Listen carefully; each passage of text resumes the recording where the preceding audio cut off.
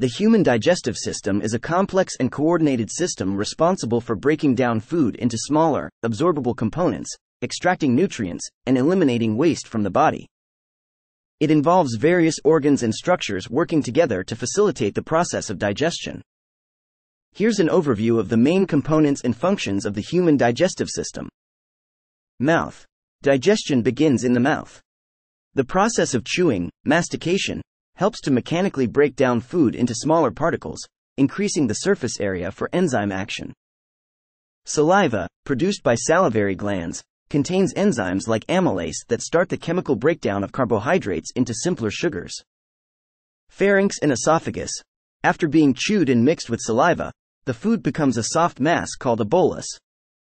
The bolus is then swallowed and moves through the pharynx and esophagus. The esophagus is a muscular tube that pushes the bolus down to the stomach using rhythmic contractions called peristalsis. Stomach. The stomach is a muscular, J shaped organ that continues the digestion process. It secretes gastric juices containing hydrochloric acid and pepsin, which break down proteins into smaller peptides.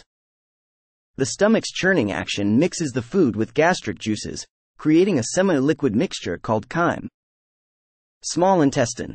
The small intestine is the primary site for nutrient absorption. It is a long, coiled tube that receives chyme from the stomach. The liver and pancreas play crucial roles in digestion at this stage. The liver produces bile, which is stored in the gallbladder and released into the small intestine to emulsify fats, increasing their surface area for enzymatic action. The pancreas secretes digestive enzymes, e. lipase, protease, and amylase, into the small intestine, further breaking down fats, proteins, and carbohydrates.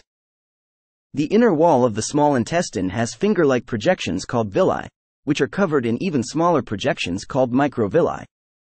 These structures vastly increase the surface area available for nutrient absorption into the bloodstream. Nutrients, such as amino acids, fatty acids, vitamins, and monosaccharides, are absorbed through the villi and transported to various cells and tissues in the body. Large intestine, colon. The remaining indigestible material, along with water and electrolytes, passes from the small intestine into the large intestine. The large intestine's main function is to absorb water and electrolytes from the undigested food, forming feces. Beneficial bacteria in the large intestine also help ferment certain indigestible substances, producing gases and some vitamins, like vitamin K and some B vitamins. The feces are stored in the rectum until they are eliminated from the body through the anus during the process of defecation. The human digestive system is a highly intricate and finely regulated process. Maintaining a balanced diet, consuming sufficient fiber, and staying hydrated are essential for the system's proper function and overall digestive health.